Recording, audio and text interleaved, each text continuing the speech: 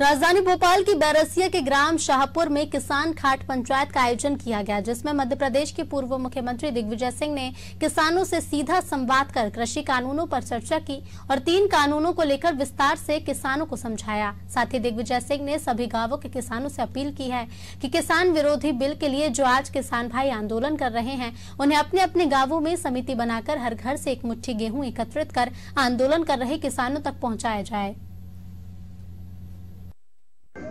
ऐसा तो अकाली दल का विरोध क्यों है?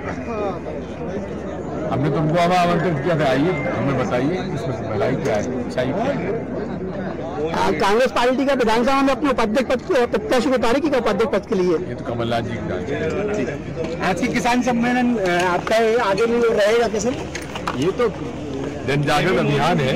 किसान विरोधी कानूनों के खिलाफ के लिए हम लड़े